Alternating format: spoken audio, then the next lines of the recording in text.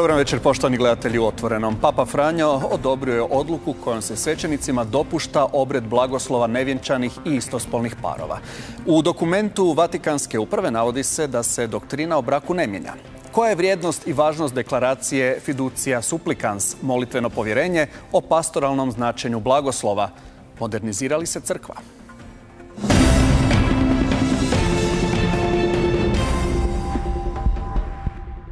U večerašnju smo emisiju zvali mnoge goste iz crkvenih krugova, no nisu baš svi bili spremni govoriti o toj temi, ali zato jesu oni koji su gosti večerašnje emisije.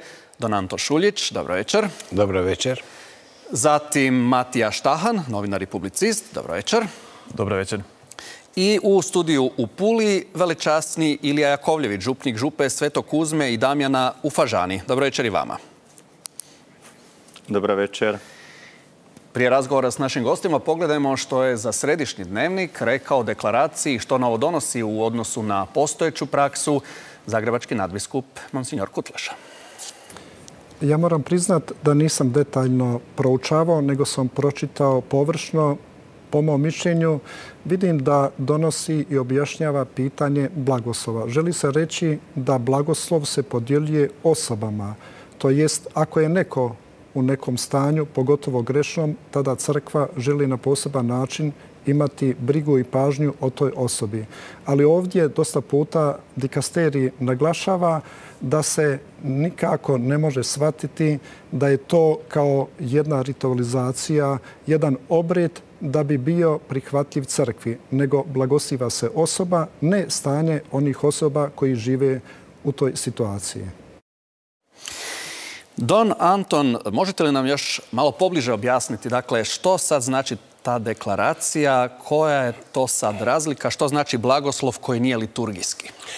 Pa zapravo je to u samoj e, ovoj deklaraciji rečeno u samom predgovor, odnosno uvodu nekom gdje se napominje da je riječ o novom doprinosu e, pastoralnom razumijevanju i shvaćanju samih blagoslova. Dakle, pastoralno e, orijentirani blagoslovi su upravo podijeljeni na one koji su liturgijski i one koji su neliturgijski, koji se događaju izvan liturgije. Upravo ovo da se ti blagoslovi sada na svoj, recimo, a nećemo reći doktrinarni, ali na način e, deklaracije, što zapravo ovaj dokument jest, e, tumače da se oni e, žele proširiti saznanja o tome što je sve moguće, što je sve dopušteno Evo, to je ono što je novum u ovoj e, deklaraciji i o čemu zapravo e, piše, dakle, taj dikasteri za nauk vjere, a što je zapravo potpisao sam papa pa, e, i u samom predgovoru se govori o tome da je papa bio vrlo često upoznat sa svim onim što se na tom planu događa. On je zapravo dao i poticaj, počevši mhm. već od njegovih prvih enciklika gdje, gdje je o crkvi govorio kao o, prostoru koji nije carinarnica gdje dakle, treba ljude prihvaćati sa svim njihovim tegobama, sa svim onim što oni jesu i na neki način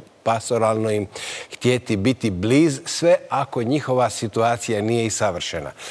Kada vi ste najavili ovo, ovaj, ovu našu temu, mhm. najavili ste kao i sinoć, pa i večeras je bilo, malo se to suzili. Dakle, E, rekli ste da je papa dopustio blagoslov e, tih... Istospolnih parova. Da, istospolnih. To je samo e, jedan vidik. Zapravo, nigdje se istospolni parovi ne stavljaju na prvo mjesto, nego Najprije se govori o neregularnim e, zajednicama, kao što su recimo e, brakovi civilno sklopljeni, recimo ako je postojala čak nekakva, recimo e, da je postojao nekakvi kršćanski brak, pa, pa su se partneri ili supružnici razišli, pa se netko ponovno, ali civilno vjenčao, to je onda neregularna situacija i za takve ljude kao i za one koji žive u istospolnim zajednicama. Sada je e, Papa i naravno ovaj dikasteri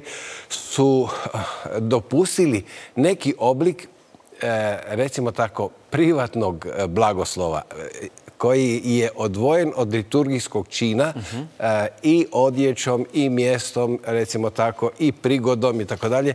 Zapravo se radi o nekakvoj e, želji crkve da bude bliz ali stvarno bliz onim vjernicima koji se nalaze u takvim zajednicama, ali su, eto, e, stjecame okolnosti lišeni e, punine zajedništva u sakramentalnom smislu i onda im se hoće pomoći u, njihovoj potrebi da, e, da se zbliže s Bogom, da se zbliže s crkvom, da potraže onaj blagoslov koji im crkva može dati. Zapravo, ja bih rekao da se ovdje radi o istinskim vjernicima koji žive do duše u ne baš idealnim uvjetima što se crkvenih propisa tiče, ali su i dalje ljudi, i dalje su vjernici koji trebaju svoj dodir sa svetim, s Bogom i trebaju e, također i svoj dodir sa zajednicom. Da pojednostavimo, kao što je to meni danas kolega iz redakcije religije e, HRT-a rekao, to je, na primjer, imam loš dan, sretnem vas negdje u gradu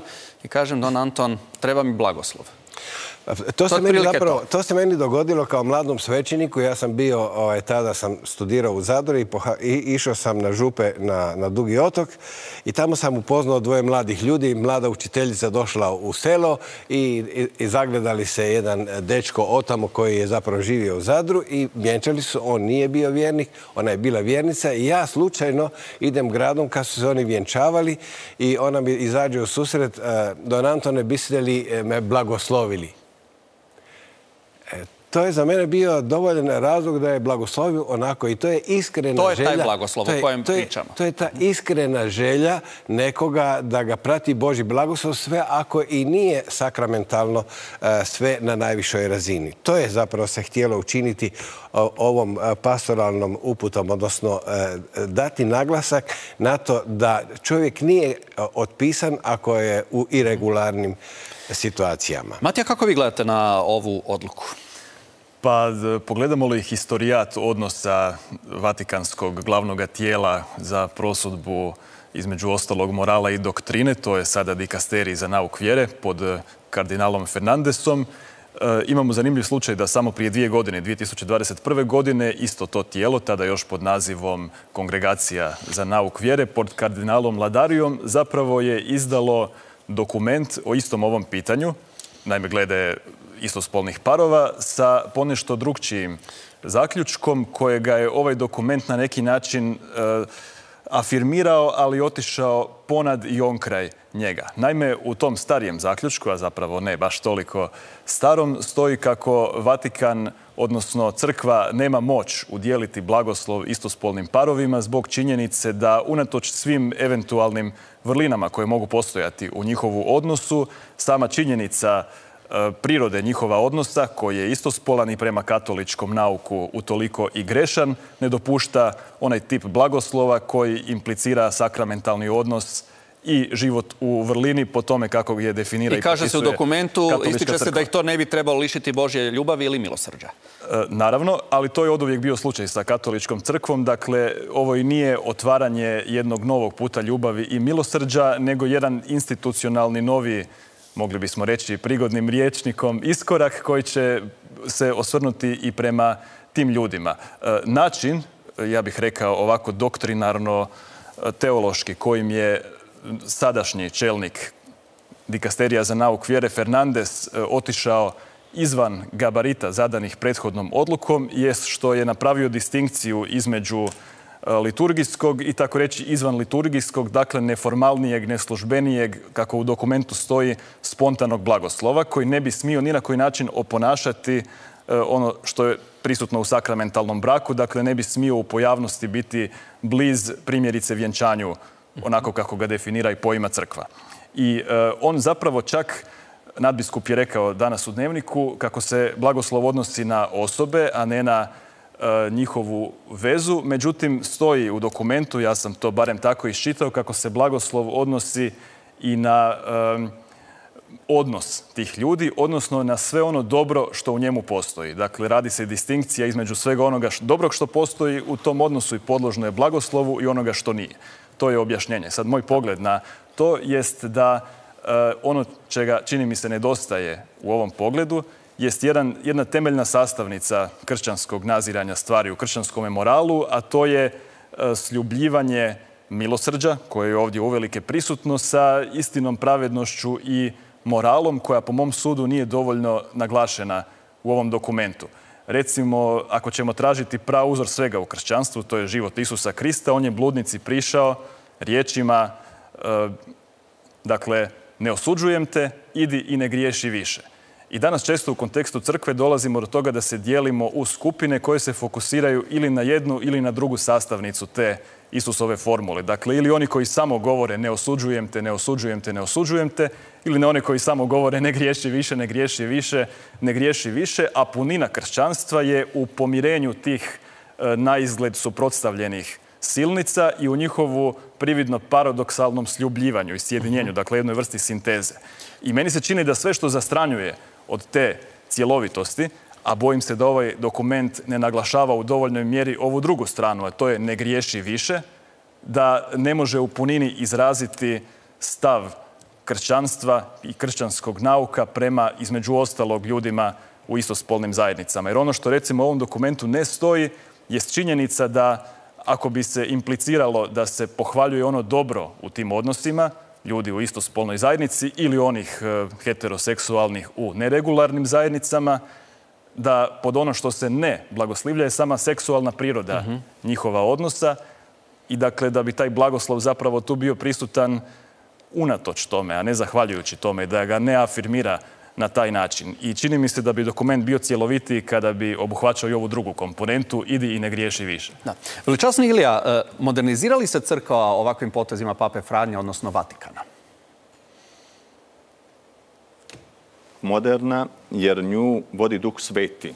Crkva se ne može zatvoriti u bedeme e, i ostati samo na jednoj doktrinalnoj razini, samo branim, branim, anatema sit, anatema sit Katolička crkva upravo nastoji biti e, uvijek mlada, osvježena duhom svetim. Zato su toliki koncili, e, sabori, sinode, kako bi crkva mogla uvijek, imajući na pameti evanđelje, sakramente, da se Boži zapovjedi, ali osluškivati duha svetoga koji progovara u tome trenutku, jer crkva je živi organizam nisu to neki bedemi, neke zidine, nego crkva e, živi sa svojim narodome i crkva osluškuje duha svetoga koji jednako i danas govori, kao što je govorio u apostolsko vrijeme, ne znam, i kroz stoljeća. I zato Papa Franjo nastoji evo crkvu učiniti možda na jedan svoj način, možda više na jedan pastoralni način, ne znam koliko na doktrinalni, e, na pastoralni način blisku svakome čovjeku i tu treba iščitavati i ovu deklaraciju, ali mnoge papine dokumente, evo, gdje crkva se ne bi trebala zatvoriti u određene zidine, pa makar one mhm. bile i teološke, i potpuno se udaljiti od čovjeka. Nego crkva mora biti bliza tom čovjeku, da crkva ne bi postala crkva farizeja, saduceja, zakonoznanaca, E, s kojom je Isus imao i tekako problema, nego da crkva osluškuje evo, djelovanje duha svetoga i da taj duh sveti i danas i nas prožima, da i mi što možemo kao crkva reći u ovom vremenu, uvijek čuvajući poklad vjere, čuvajući sve ono što baštinimo, ali e, živeć ga na jedan sadašnji način koji je aktualan sadašnjem e, trenutku. Možda ono što je bilo aktualno u 15. stoljeću nije danas toliko prisutno. Zato crkva po meni posebno katolička crkva, e, vječno mlada i vječno moderna, jer nastoji, kako drugi Vatikanski koncil je govorio, biti u suvremenome svijetu prisutna kao aktivna, kao živa zajednica evo, koju uvijek oživljava duh sveti. Don Anton, sad je i veličasni Ilija spomenuo sinodu. Na posljednjoj sinodi upravo Papa Franjo je rekao crkva nije utvrda nego šator koji može proširiti prostor. Je li po tim misle upravo na takve odluke da približi crkvu i osobama, u ovom slučaju istospolnim parovima? Pa na svoj način možemo i tako to razumijeti, ali ne samo njih. Ima jako puno e, ljudi za koje bismo rekli da su rubni i da ne žele biti e, gurnuti s tog ruba, da žele zadržati makar mali kontakt, makar e, nešto minimalno. E, u ovom dokumentu o kojem mi večeras govorimo stoji da ne bi se smjelo na neki način priječiti pristup milosti, doslovno tako stoji, i ne bi se trebalo trošiti snage da neki, neki osobiti nadzor kaže ovako, stoga kad ljudi traže blagoslovo, preduvjet za njegovo podjeljivanje ne bi trebala biti iscrpna moralna analiza. Od njih se ne treba zahtijevati prethodno moralno savršenstvo. I tu se nalazi opravdanje upravo u Isusu. Isus nije prethodno tražio ovaj moralno, recimo, da moralno bude čista ni ona grešnica na kojoj su htjeli baciti kamen, o kojoj je bila riječ, niti e, Zakej koji se popeo na smokvu, koji je bio naprosto varalica i, na, porezima e, i na krvarini zarađivao, nego je upravo taj kontakt E, taj kontakt sa svetim je e, crkva prepoznaje kao nešto što može biti dodatni poticaj. Naravno, ovdje ne govorimo o onima koji će se htjeti okoristiti nekim parolama, pa evo sad, sad, su, sad su ti homoseksualni parovi, eto, došli. Ne, tu postoji puno ljudi koji su, eto, to su što su u svojem, od svog su rođenja takvi ili već kako jesu, a htjeli bi zadržati to, tu svoju, recimo tako, barem minimalnu vezu s crkvom, zapravo imati tu povezanost s Bogom. Zanimljivo je, danas je e, e, jedan komentar ovoj, e, mhm. ovoj deklaraciji dao Andrea Tornieli, to je urednik u Vatikan Newsu, koji navodi misao jednog židovskog znanstvenika. Taj znanstvenik se zove Claude Montefiore, kaže ovako – dok druge religije opisuju čovjeka u potrazi za Bogom, kršćanstvo navješta Boga koji traži čovjeka, koji traži čovjeka. Isus je učio da Bog ne čeka grešnikovo pokajanje. On odlazi potražiti ga da ga pozove k sebi. To je taj ključ kojim se e, rukovodi i ovaj dokument, odnosno Papa Franjo, koji, e, eto, ne želi jeli, od crkve napraviti, što je rekao kolega Ilija, neki bedem, e, neku nepropusnu ovaj, i, i samodostatnu zajednicu koje ne bi mogao niko pristupiti ni na koji način. Evo, moram reći jedno svoje iskustvo. Kad sam bio još relativno mlad svećenik, Eh, odlazio sam u Gracu, u Austriju na zamjenu tamo i tamošnji svećenik je Sua Sponte eh, radio upravo sa eh, parovima koji su bili rasavljeni pa ponovno civilno vjenčani i ovaj, ne dajući im čak ni blagoslov, ali skupljajući ih i radeći s njima zapravo imao najživlju grupu u župi od tih ljudi. Za mene je to tada bilo veliko iznenađenje i velika, recimo, pouka, jer sam e, vidio da čovjek, ako nije isključen, onda ga se može e, na neki način bolje ishvatiti i razumjeti i može, može doći do nekog boljitka. Sad, kakvog boljitka u sakramentalnom Bog je na koncu e, Bog svih ljudi i onih koji su u dobrom stanju, a i onih E, koji nisu u najboljoj životnoj situaciji. Tako da, eto, ja ovaj dokument e, shvaćam kao jedan pomak u tome da se bude naprosto bliz. Da se na Isusov način pokaže milosrdno srce, dobrostivost, da se pokaže otvorenost, da se dade ruka, da se, da se ne etiketira i ne proziva, da ne, da ne čeprkamo tako e, grozomorno po tuđim savjestima i životima, nego da pustimo milosti.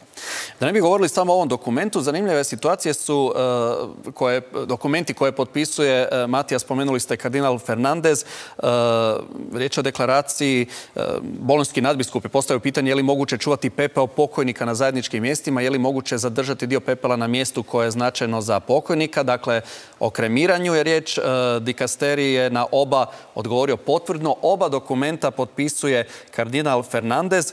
Je li on u sjeni pape Franje, one koji zapravo odlučuje o takvim stvarima?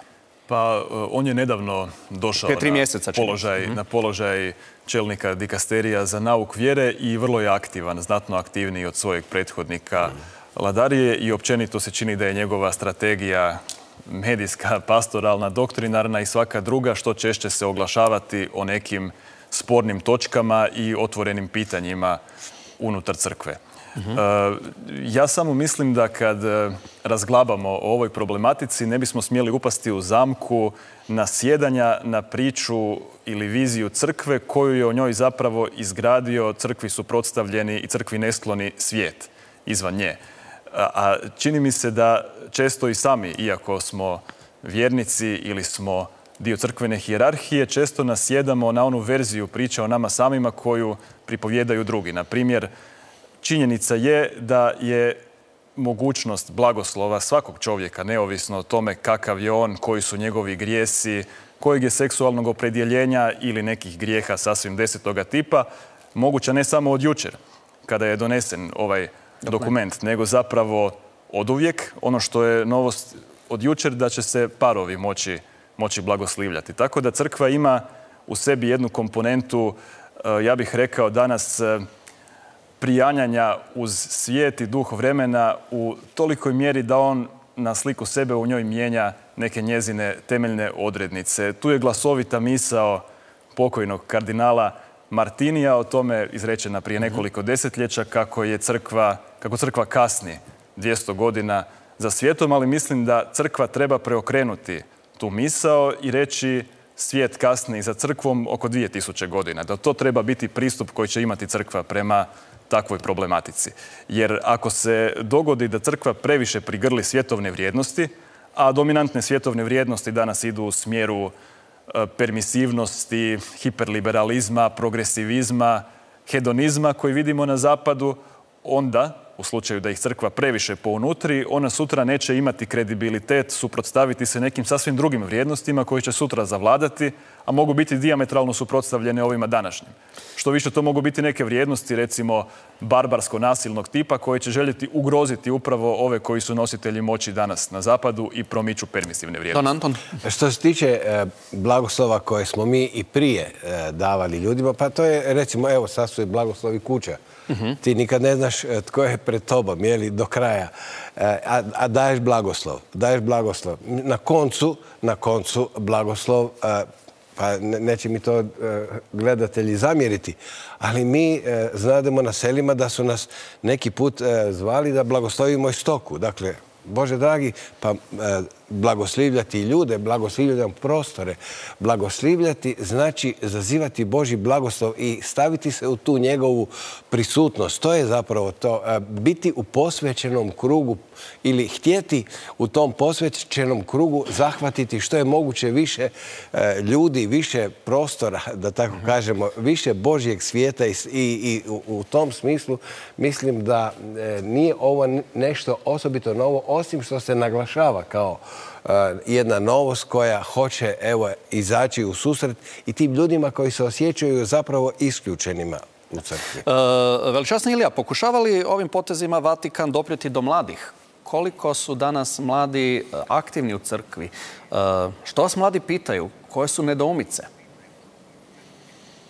Ma, mladi e, žele odgovori da crkva daje odgovore. Mhm. I ovaj novi prefekt dikasterija, mislim da je dobro da crkva daje i složio bi se da ide čak unaprijed, prije nego što se evo, postave određena pitanja da crkva bude jasna u svome izričaju i nauku. To je važno za nas pastoralne djelatnike, svećenike, sve nas koji evo živimo redovitu crkvenu stvarnost.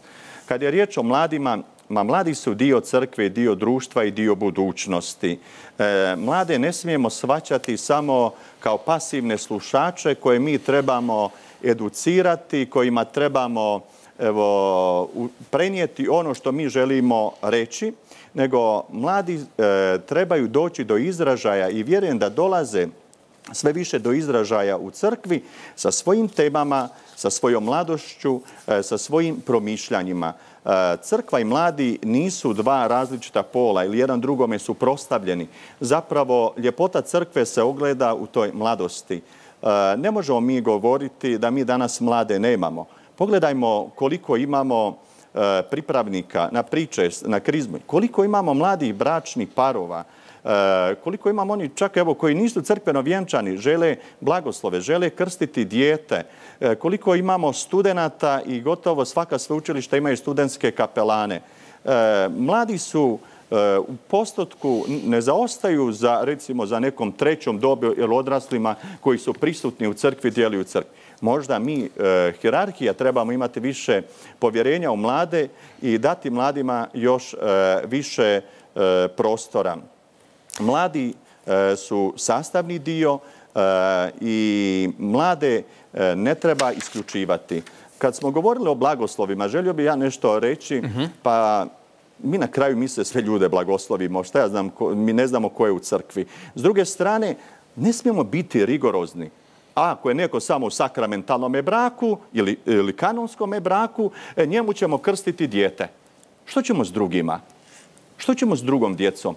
Kad bi gledali statistiku koliko je zakonite i nezakonite djece koja se krste, koliko je djece koja pristupaju za pričest i krizmu, e, koji E, čiji su roditelji u sakramentalnom ili kanonskom braku ili koji nisu, vidjeli bi tu razliku. Znači, e, crkva mora biti otvorena i upravo otvorenost crkve u ovim temama i razumijevanje ljudi u njihovim situacijama doprinose da mlade obitelji koje startaju, koje su još neodlučne, da mladi koji još se traže, evo da imaju povjerenja u crkvu, kako je crkva ona koja im je blizu, koja ih razumije, sigurno koja kroz svoj nauk ih i podučava, ali koja iznad svega ima neizmjernu ljubav prema njima. Crkva nije ili ili, crkva je i i, koja uvijek širi ruke i uvijek svakoga svoga člana i onoga koji nije član crkve, mhm. E, dočekuje i prihvaća. Pa mi imamo u crkvi da roditelji uopće nisu kršteni, a žele krstiti svoje dijete. Žele njihova djeca da primaju sakramente. Što nećemo doći u blagoslov toj obitelji, tim mladima. E, ja promatram kao župnik kako najprije moramo svakoj osobi pristupati sa jednakim dostojanstvom. Svaka osoba ima jednako dostojanstvo i svaka osoba je slika Božja, imago Dei. I ako tako pristupamo čovjeku, e, onda će naša pozicija biti druga. Ako mi pristupamo na druge načine, vrednujući da neko ima veće dostojanstvo, neko manje dostojanstvo, mislim da tu je loša e, pozicija s kojim prilazimo tom čovjeku. Brzo ćemo i sebe naći i svako od nas u situaciji koja nije dobra.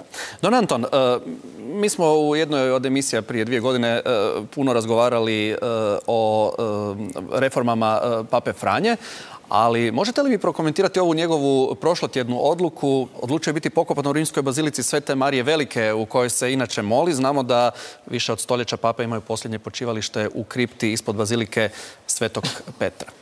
Ma moram priznati da me iznenadilo E, e, Koliko je to neobično? To je neobično. Dakle, on je neobično, ali nije... E, Posljednje počivalište u Bazilici Svetog Ivana Lateranskog, tamo je pokopan, dakle, izvan Vatikana, Lav 13. To sam pronašao. Da, a i prijašnji pape mhm. su, dakle, u, ranom kršćanstvu. dakle, nije nepoznato da Papa Franjo Santa Maria Maggiore zapravo za njega je polatna crkva na svako hodočašće. Kad on ide na neko hodočašće i kad se vrati, uvijek ide u tu crkvu i moli se pred e, slikom Majke Božje. Prema tome, e, njegovu srcu je ta crkva osobito prirasla i mislim da je to njegovo pravo da to izabere i meni je to ovaj, ne samo prihvatljivo, nego i simpatično. Pri smo emisije Matija. Je li Papa Franjo zadovoljan ovakvom crkvom? Želi li još dodatne promjene i koje?